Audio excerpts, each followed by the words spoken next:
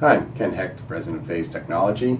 I'll tell you a little bit about our CI series of products. We take kind of a unique approach in our CI series of products in a couple different ways.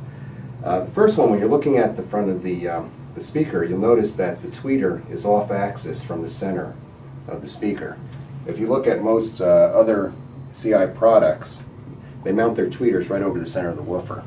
That's not a good thing because mid-range frequencies from the woofers are reproduced from the center of the cone.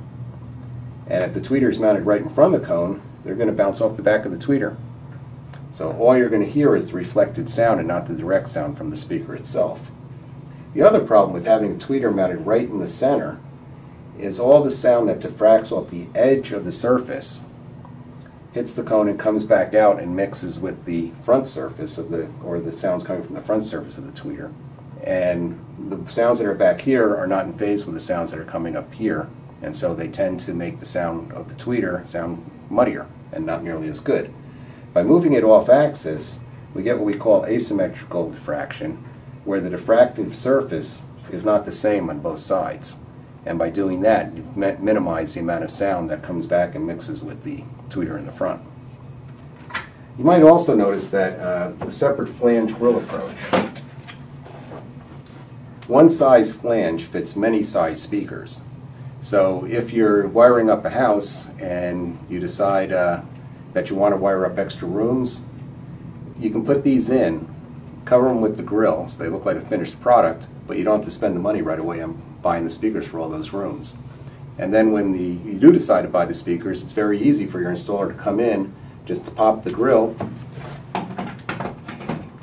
put the speaker in, twist it, and it's locked in.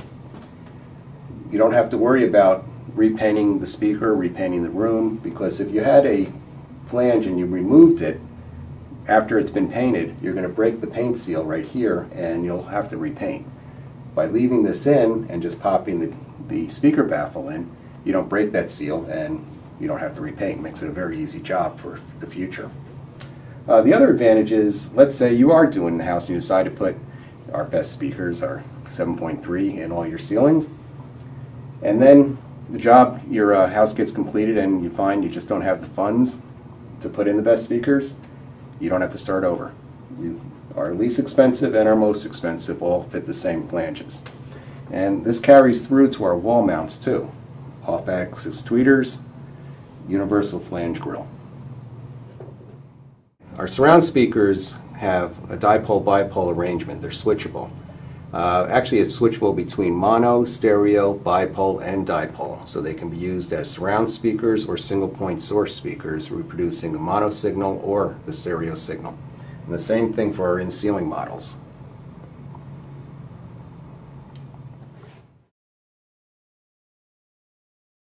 You'll notice that we use different materials, polypropylene, woven glass fiber, and solid pistons. So as you uh, get better and better models in the series, the uh, materials changed.